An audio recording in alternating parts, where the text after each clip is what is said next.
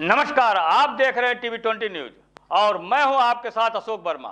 आप सभी प्रिय दर्शकों को टीवी ट्वेंटी न्यूज़ परिवार की तरफ़ से धनतेरस की हार्दिक शुभकामनाएँ। आइए, अब नज़र डालते हैं आज की कुछ खास खबरों पर।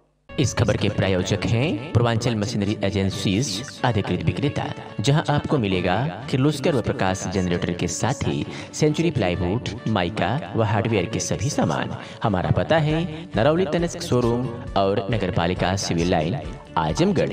Mobile number है चौरानवे पंद्रह, बीस, सतहत्तर, अट्ठाईस, यानी नौ चार एक पाँच दो शून्य सात सात दो आठ। कृषि विभाग आजमगढ़ द्वारा कृषि विज्ञान केंद्र कोटवा आजमगढ़ के परिसर में इंस्टीट्यूट जिला अंतर्गत जनपद स्तरीय कृषक जागरूकता कार्यक्रम national mission on edible oil जनपद स्तरीय रवि मेला तथा परंपरागत कृषि विकास योजना अंतर्गत जैविक मेला गोष्ठी का आयोजन मुख्य विकास अधिकारी की अध्यक्षता में किया गया, जिसमें जनपद के सुदूर क्षेत्रों से आए तमाम कृषकों द्वारा प्रतिभाग किया गया। कृषक जागरूकता कार्यक्रम में कृषि विज्ञान केंद्र कोटवा, आजमगढ़ के वैज्ञानिक डॉक्टर रणधीर नायक के द्वारा तिलहानी फ़सलों की खेती पर विस्तृत चर्चा की गई।